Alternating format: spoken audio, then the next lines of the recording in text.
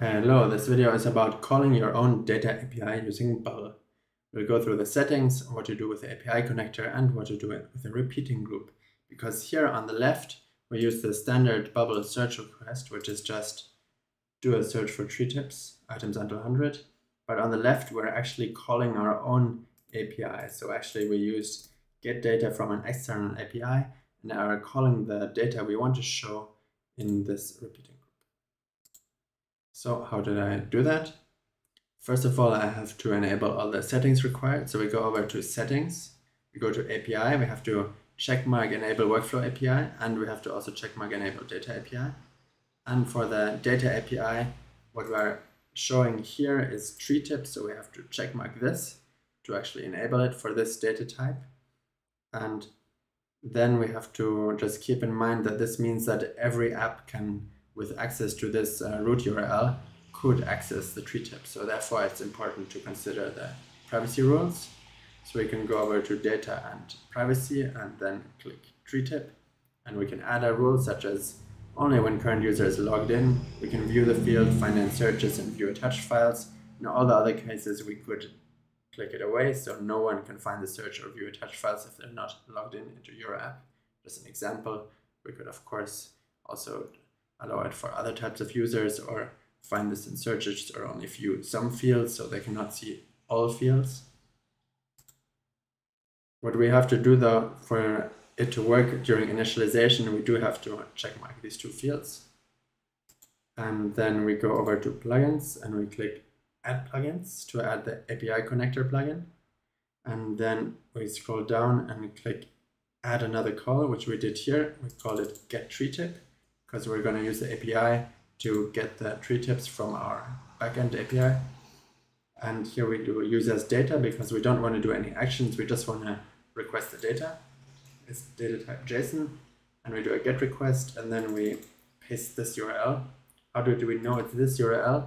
If you go to the Bubble manual and search for data API, you will find the documentation required. So it says the general endpoint to get data from Bubble follows this pattern, and it shows the API 1.1 object type name.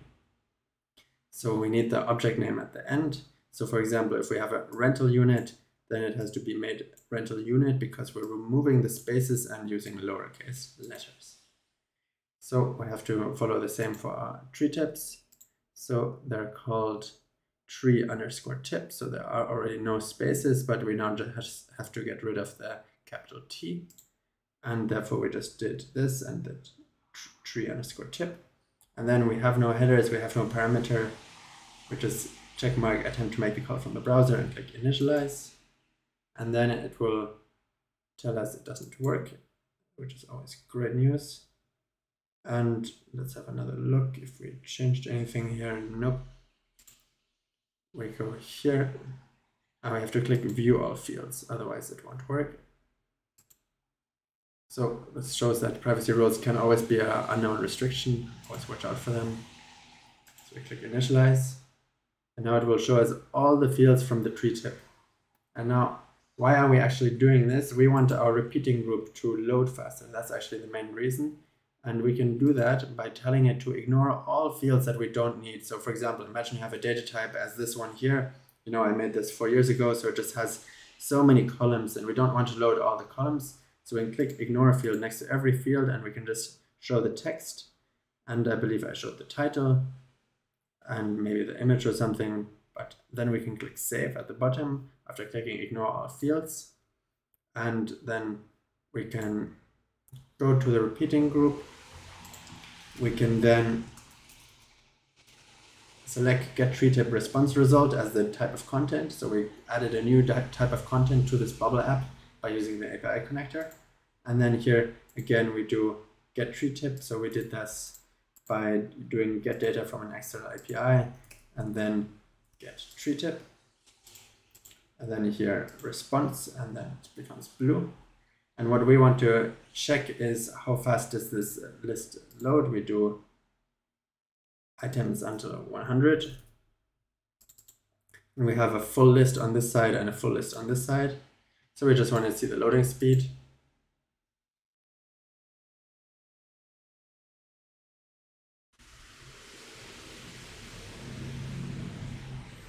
And we see the right side is significantly faster if we load a list of 100 different things, which is great.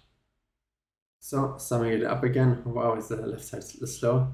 Uh, summing it up again, what we did here is we went to the API settings, enabled them, copied this URL, went to the API connector plugin, pasted this URL, added our data type, initialized the call, ignored the fields we didn't need, and then set the repeating group to get data from an external API. Hope you can make use of this to improve your repeating group loading speed. Cheers.